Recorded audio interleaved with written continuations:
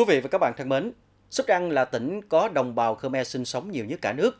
Trong năm có khá nhiều lễ hội, trong đó được chờ đợi nhất, tương bừng nhất là ốc bông bốc vào rằm tháng 10. Đi cùng với những lễ nghi cúng tế là những hoạt động văn hóa văn nghệ thể thao, đặc biệt là hội đua ghe ngò. Và giờ đây, ánh trăng tháng 10 đã bắt đầu ló dạng, các đội ghe ráo riết tập luyện chờ ngày hội đua. Chúng ta sẽ cùng cảm nhận sinh khí này trong chương trình Sóc Trăng vào mùa lễ hội tối nay.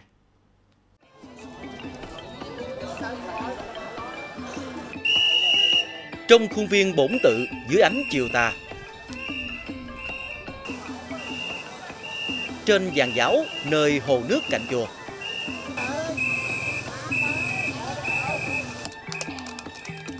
Dưới đoạn kênh giữa lòng phun sóc.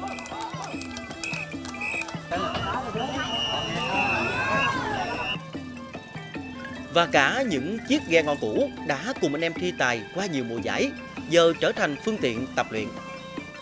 Tất cả đều ráo riết, rộn ràng chuẩn bị cho hội đua năm nay. Ốc bông bốc Sóc Trăng 2023 đang đến gần.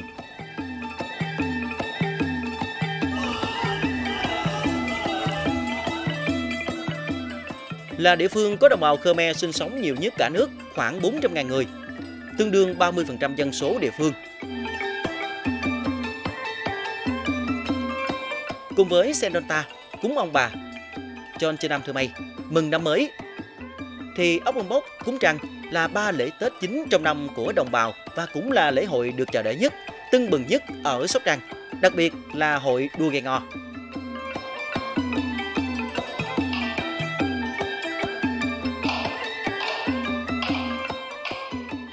Sóc Trăng có 93 ngôi chùa theo Phật giáo Nam Tông Khmer, thì trong đó gần phân nửa là có ghe ngò.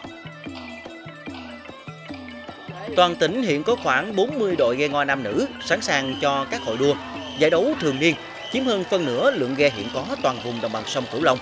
Và đây là thời điểm các đội náo nức ráo riết tập luyện.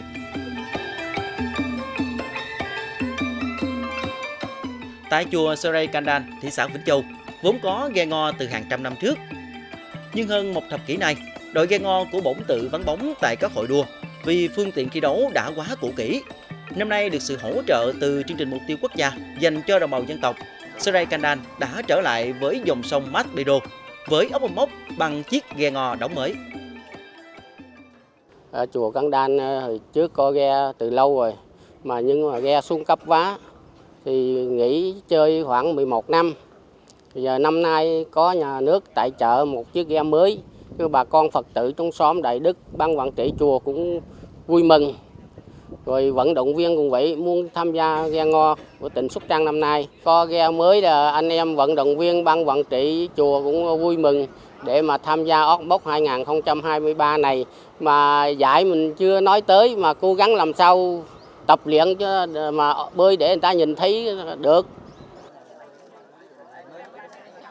Cũng tại Vĩnh Châu, bên cạnh sự trở lại sau 10 năm vắng bóng của Saray Kandan, là sự duy trì truyền thống tiếp tục cướp mặt với hội đua của đội ghe cũng có một bề dày lịch sử, xẻo mè.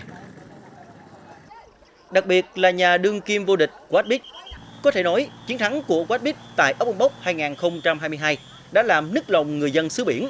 Hơn hai thập kỷ rồi, chiếc cúp vô địch mới quay trở lại Vĩnh Châu.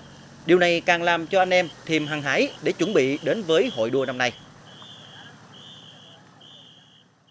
Cái à, tập luyện của năm nay thì nó cũng không khác gì năm 22 đâu, cũng bốn mươi mấy ngày. Nhưng mà tụi tôi cố gắng là sẽ tập xong nhiều hơn. Có thể tới ngày thi đấu tôi tập xong được khoảng 30 ngày. Dược lượng của mình năm nay thì ờ, nói chung là mình à, ghe hạng nhất mà. Cầu thủ nó nó xôn xao lắm. Có những cầu thủ cũ mà năm rồi nó nó nó không có mặt lý do là người ta làm ở Sài Gòn á. Rồi người ta không có về được. Nhưng mà năm nay thì anh em cố gắng. Phong trào nói chung là phong trào hiện tại Quốc Bích đang lên vậy lắm. Thánh Trị, địa phương có thành tích tốt nhất trong làng ghe ngò Sóc Trăng trong khoảng một chục năm trở lại đây. Với bông tức chắc, ông Kho đã chiếm phân nửa số cúp vô địch tại các hội đua ốc bông bốc Sóc Trăng tính từ năm 2012 đến nay. Đó là chưa kể lộ mới với thành tích mà không có nhiều đội ghe làm được, giành cả hai chiếc cúp vô địch ở hai cự ly thi đấu trong cùng một hội đua. Đó là ốc bông bốc 2010 Năm nay, lỗ mới sẽ trở lại với dòng sông Maspero cũng bằng một chiếc ghe ngò đóng mới. Đối với ghe lỗ mới thì mấy năm trước á, thì thì cái vụ tập trung á, thì à, huấn luyện này kia thì hơi hơi thiếu người rất là nhiều. Không đi một một, một ghe nữa. Rồi một ghe nó còn năm nay á, rất là nhiều anh em rất đông đủ. Một ngày cũng khoảng một trăm ba trăm ba. Tôi thấy tụi tôi rất là mừng tôi. Tụi tôi thì trong ban ban quản trị chùa rất là phấn khởi. Mà anh em rất là đoàn kết. Lỗ mới đang hừng hực khí thế, còn bông tức chắc và ông kho cũng đầy quyết tâm. Nhất là hai đội đua gần đây ốc mâm bốc 2020 và 2022 anh em cũng vào tới vòng tứ kết, bán kết, thậm chí là chung kết. Nhưng chức vô địch cúp vàng đã không về quê hương Thạnh Trị như những lần trước nữa. Trong khu tập luyện của đội ghe Tân Tức năm nay thì à, mà rất là tốt, anh em à, xuống rất là đông đủ. Hiện tại giờ là tầm 101 nhưng mà anh em anh em cũ là tay bơi cũ là có thể là ngày 11 thì nó ra rồi. À, tinh thần anh em rất là là, là quyết tâm rất là cao. À, tập à, trong à, buổi tập 3 giờ thì anh em cũng sắp xếp cái công việc ổn định rồi là phải tập trung đầy đủ. Bên cạnh Vĩnh Châu, Thạnh Trị thì tất cả các ghe đã đăng ký đến với hội đua năm nay đều đã và đang nỗ lực tập luyện. Từ những chàng trai nơi quê biển Trần Đề đến các cô gái miệt đồng ngã năm, từ Châu Thành, Mỹ Tú, Lâm Phú đến Kế Sách, Cù Lao Dung, ghé những ngôi chùa có ghe ngo, chúng ta đều bắt gặp những mái dầm miệt mài vào mỗi buổi chiều Năm nay, Sóc Trăng có 35 đội ghe nam và 3 đội ghe nữ sẽ cùng tranh tài tại ốc Bông Bốc, Sóc Trăng. Và năm nay à, bên đội ghe Trà Cuông có chúng em cũng có một à, chiến thực thay đổi à, trên bơi. Và bơi ban đầu thì trên bơi trên cạn, là bơi nói là bơi trên dầm dầm mình bơi khô đó. Rồi qua đó bơi 10 bữa, rồi anh em xuống vàng tập. Bữa nay nữa là hai mươi mấy bữa rồi. Mục tiêu của chúng em năm nay là phải chơi đến vòng vòng cuối cùng. Ngoài thành tích thứ hạng nỗ lực trong tập luyện của mỗi đội ghe. Từng huấn luyện viên vận động viên thì ghe ngo môn thể thao cổ truyền của đồng bào Khmer. Giờ là niềm vui chung của các dân tộc anh em kinh Khmer Hoa trên đất Sóc Trăng. Nên nhận được sự chăm lo của cả cộng đồng, quan tâm hỗ trợ của chính quyền, ngành chức năng địa phương. Thì à, đối với công tác chuẩn bị của đơn vị huyện Hình trị á, thì được sự quan tâm à, của viện quỹ ủy ban dân huyện. Thì à, ủy ban dân huyện cũng đã thành lập được cái ờ, ban chỉ đạo à, tham gia giải đua ghe ngo năm 2023 thì bên cạnh đó thì chỉ đạo cho các thành viên là thực hiện nhiệm vụ của mình. Đối với ở các chùa thì à, tổ chức tuyên truyền vận động con em à, những người à, thanh niên à, đủ sức lực tham gia làm vận động viên để tham gia cho các đội để luyện tập trong đội ghe để chuẩn bị có sức khỏe tốt nhất để tham gia trong hội à, trong giải đấu năm 2023 này. Thị xã Vĩnh Châu là địa phương có đông đồng bào và Khmer sinh sống. À, thời gian qua được sự quan tâm của Đảng và nhà nước, của các cấp ủy đảng, chính quyền của địa phương thì các chính sách à, dân tộc rồi các cái chương trình dự án chăm lo cho đồng bào dân tộc à, trên địa bàn được triển khai à, cách hiệu quả và đó góp phần nâng cao đời sống vật chất à, tinh thần cho bà con à, của ở tại địa phương.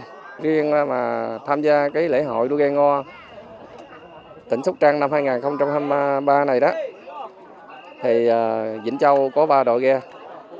Hiện nay thì à, các cái vận động viên và các lãnh đạo đội, rồi chủ trì, ban quản trị các chùa rất là quan tâm, tập trung, lãnh chỉ đạo tập trung, coi như là tổ chức cho các cái vận động viên tập luyện hết sức là khẩn trương và với tinh thần rất là quyết tâm cao. Đúng theo phong tục đồng bào, giải đua ghe ngò ở vùng bốc Sóc Trăng 2023 vẫn diễn ra vào rằm tháng 10 âm lịch. Năm nay, vào hai ngày 26 và 27 tháng 11 dương lịch, vẫn với hai cự ly thi đấu truyền thống 1.200m dành cho nam và 1.000m dành cho nữ. Đến thời điểm này, ngoài 38 đội ghe của chủ nhà Sóc Trăng, còn có thêm 8 đội đến từ các tỉnh thành là Bạc Liêu, Cà Mau, Cần Thơ để cùng chung vui so tài. Ngoài giải đua ghe ngo, vẫn là tâm điểm thì ốc bốc Sóc Trăng 2023 còn có thêm các hoạt động đặc sắc như lễ cúng trăng, hội thi thả đèn nước, trình diễn ghe cà hô, lễ hội đường phố, ẩm thực, hương vị Sóc Trăng và các hoạt động trưng bày triển lãm. Ốc bông bóc đua ghe ngò Sóc Trăng từ lễ nghi cổ truyền của đồng bào Khmer trở thành ngày hội vui của ba dân tộc anh em kinh Khmer Hoa địa phương và đông đảo du khách gần xa. Vang trong tiếng còi tập luyện của các đội ghe ngò, lúa nếp đang dần tỏa hương để trở thành món cốm dẹp thơm lừng trong đêm cúng trăng. Một mùa ốc bông bốc trong nao nước nữa đang về